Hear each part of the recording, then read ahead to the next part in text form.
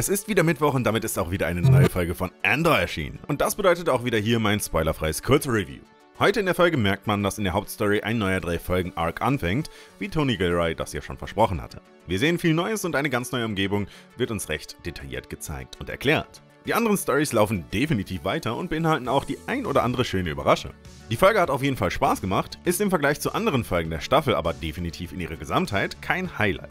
Ein volles, auch spoilerartiges Review der Folge werdet ihr gleich auf Star Wars Basis finden. Und heute kam ja auch Tales of the Jedi raus. Da wird es bald auch einiges hier und auf Star Wars Basis zu geben. Lasst also gerne ein Abo mit dem Klick auf die Glocke da.